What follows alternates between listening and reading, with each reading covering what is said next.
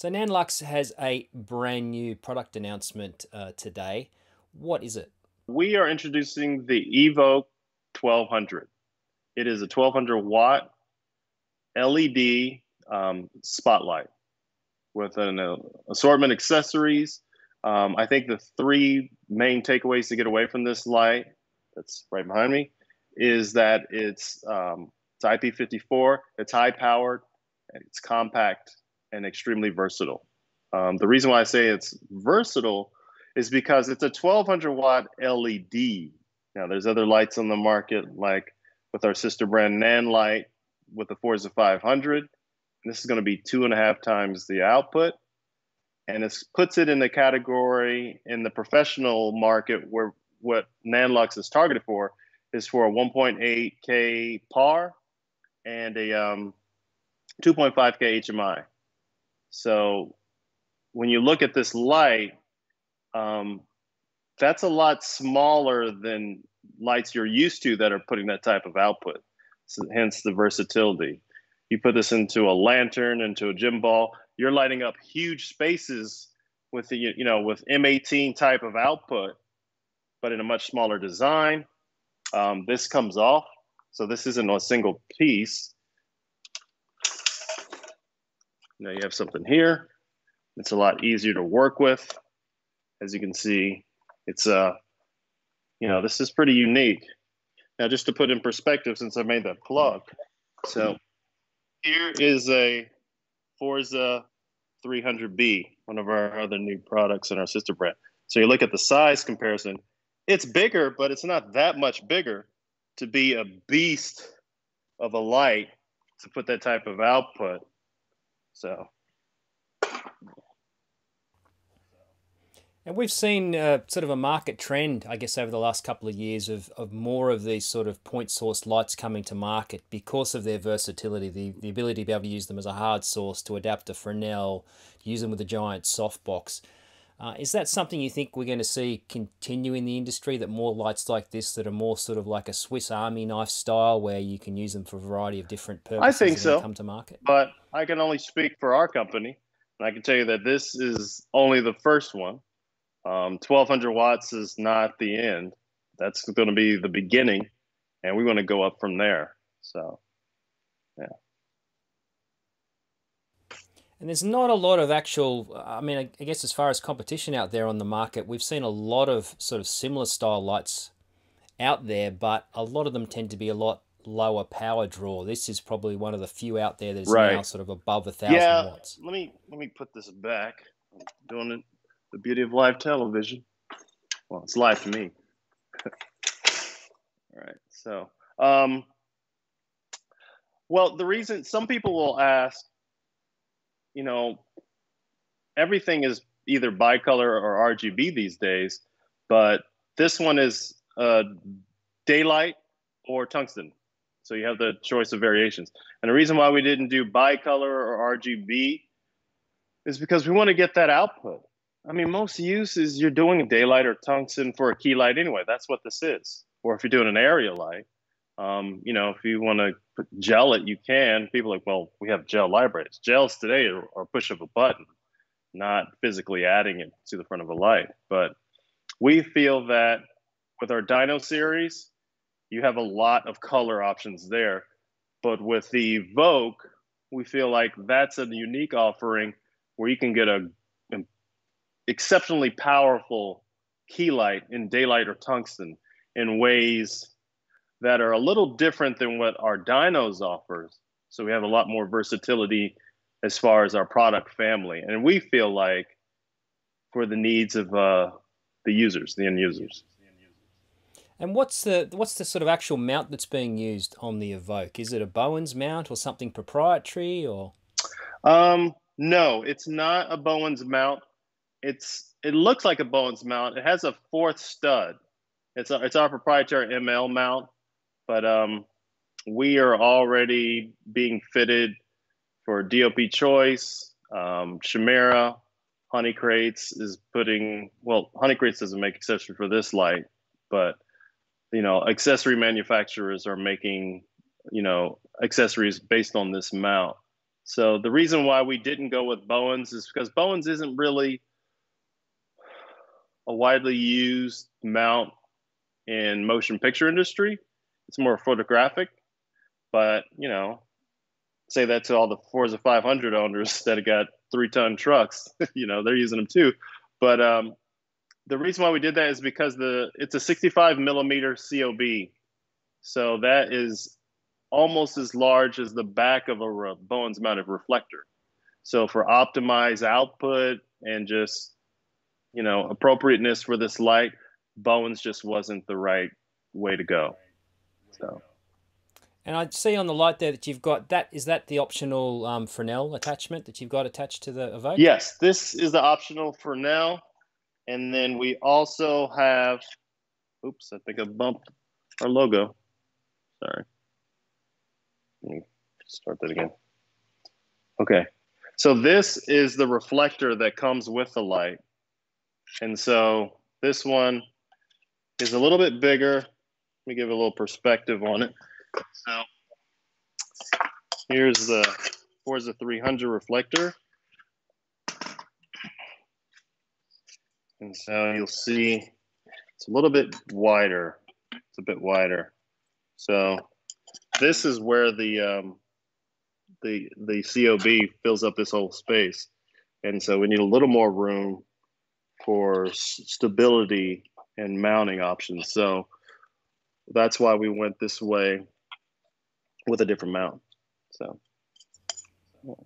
And the Fresnel, what's the um, the beam angle adjustability of that? It's 11 to 45 degrees. Yeah. And I take it, it, I mean, it looks fairly large, so I guess it has to have been sort of optimized for the actual sort of size of the COB in terms to get the best sort of, um, you know, output and performance. Yes, it is a, the model number or name of the uh, accessory is FL35 that's because it's 35 millimeters or centimeters, sorry, centimeters, uh, 35 centimeters in diameter or 13.77 inches. And does it have space in the back of it to put uh, um, wire mesh grids or anything like that, or? Yes, it has a drop-in. Uh, the barn doors actually are included, and they slide out. So you do have a, a circular bracket to, to drop in if you wanted to do other things like that. So I'm sure accessory manufacturers are going to find different uses for them. And does the Fresnel come with barn doors? Yes, it does come with barn doors. Yeah, these are at four. And this one have two that extend in size. So whatever options you want to do, you have them. And so as you see in this configuration here, we have the uh, yoke attached to the Fresnel. But if you were going to use included uh, reflector, then you would attach the yoke here. This locks in, and then you would use it that way. So pretty easy. And in terms of controlling the light, what are the, what are the options that are available to do that? Um, this one, all Nanlux products with the Dynos, our TK series, and now the Evoke, they come with Lumen Radio TimoTwo chips built in. So you can control it with either Bluetooth or with CRMX. You have Wi Fi. Uh, we have 5 pin DMX in and out, RDM, and those are your options there. So yeah. And I believe it also comes with a, a, a wired controller. There is a wired controller coming. Yes, there's a wired controller coming for the Dynos and for the Evoke, and I can't wait to see it because I think that's going to be more options that you'd like to have. Because sometimes you might want to go wireless. You might want to just do manual. You have a smaller setup, or you know it's out of reach, and so um, yeah. Either way, it's it's really good. I'm looking forward to doing some tests on the range. Um, the the range of the of the radios and the Dynos is exceptionally uh, long. I mean, we were at Rat Pac with their AKS Plus, and we did some tests and dropped the Dynos in the middle of their factory. Went out to the opposite end of the parking lot, did miss a beat with, you know, this is no clear line of sight. There's lots of walls in between, and it kept going. So I like to see how this one fares because this one, I think, because of this type of output and because it has a lighter weight, um, that's where the versatility comes in. And these things can be placed in areas that heavier lights um, might not be able to go unless you have a bigger budget for a much more powerful rigging system. Um, you know, that are much more expensive. So I think this is going to find its way in a lot of places where other similar lights um, might not be able to go. So. And I saw too, you're going to have um, kits available and also the ability to be able to mount multiple Evoke lights inside one sort of fixture frame. Yeah. Yeah, they have a two light kit and a four light kit frame, not just four lights, but to mount four lights and use together in one setup. I don't know what kind of output. I can't wait to see what that looks like. I'm going to to wear sunglasses, so it'll be pretty awesome. And speaking of output, um, you know, what sort of um, figures in terms of lux are we talking about with with this uh, with with the Evoke at say a distance of three meters? Um, as far as output goes, we're looking at with a bare bulb, uh, just over 5,500 lux. Uh, with the reflector on, we're looking at. Oh, it doesn't have it Okay, with the spot, we're looking at 68,300 lux with the uh, with the Fresnel on at 10 degrees or 11 degrees, and then we have 14,530 lux at three meters at 45 degree flood. So. Yeah, so that's a that's a decent amount of, of output. So this is really a light that's being targeted as a you know an LED replacement for traditional HMIs.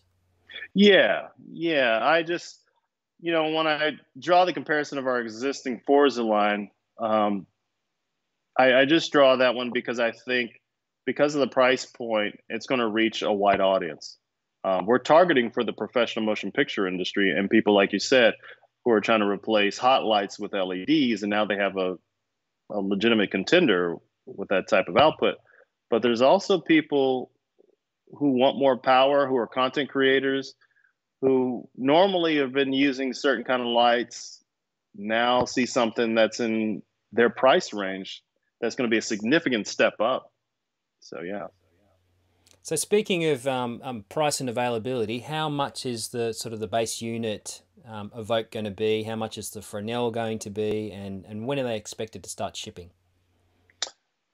Well, we're a couple weeks away from quarter number three. So I will say quarter three.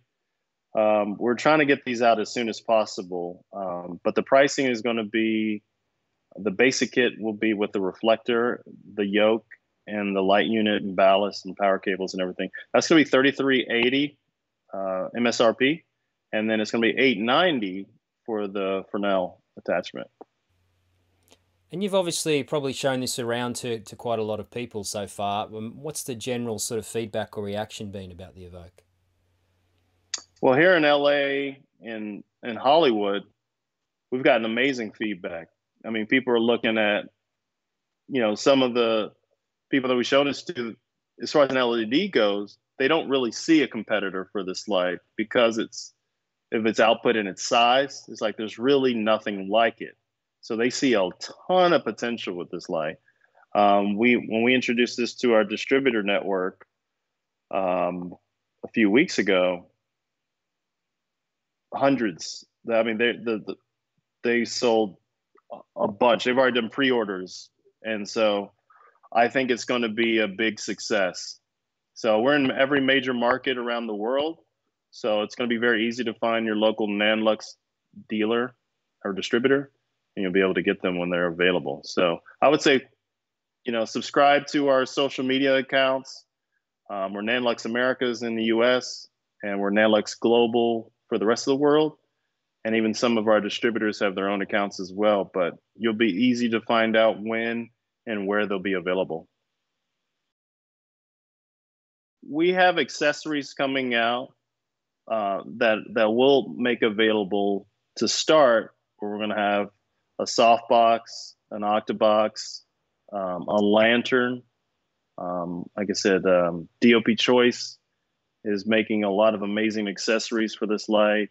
Um, and I think that they're going to be really impressive. Um, I just love to see a light this bright from this size and a big five foot octabox. I mean, no hot spot, just a beautiful power, um, a nice spread of just beautiful soft light.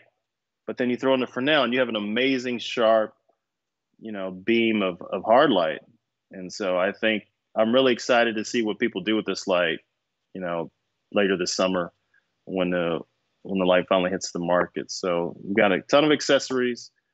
We got a great opportunity for what it offers in the marketplace to just see what people do with it. So I'm very excited about it. So